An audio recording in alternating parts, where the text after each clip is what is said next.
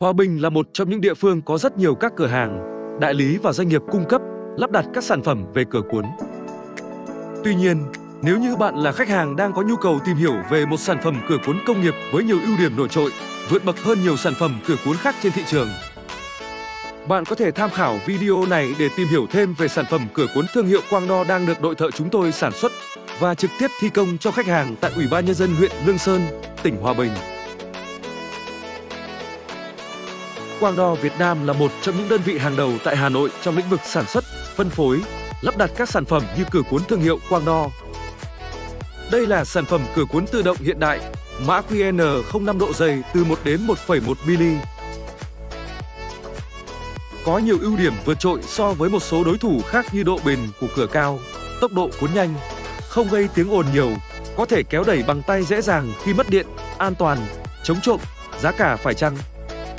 Tại tỉnh Hòa Bình, nếu như bạn có nhu cầu mua và lắp đặt cửa cuốn quang đo cho gia đình mình, Quang Đo Việt Nam sẽ có những sự hỗ trợ để giúp bạn có được một bộ cửa cuốn như ý.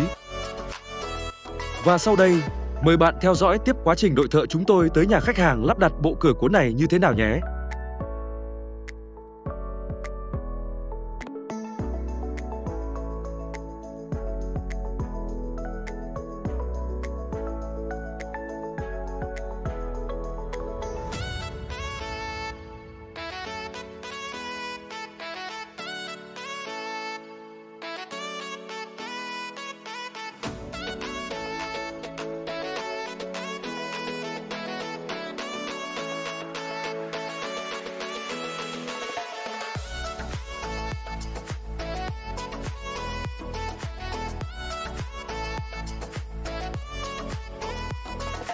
Quang Đo Việt Nam tự tin cam kết với khách hàng.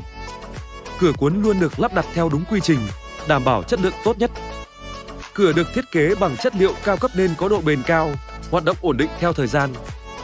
Hỗ trợ lắp đặt cửa theo mọi yêu cầu và đặc điểm kích thước thực tế của từng khách hàng. Bảng giá dịch vụ ưu đãi cạnh tranh nhất thị trường. Dịch vụ hỗ trợ chuyên nghiệp, nhanh chóng. Nhân viên kỹ thuật có trình độ tay nghề cao, nhiều năm kinh nghiệm luôn sẵn sàng hỗ trợ khách hàng 24 trên 7. Có chính sách bảo hành dài lâu, hậu mãi tốt.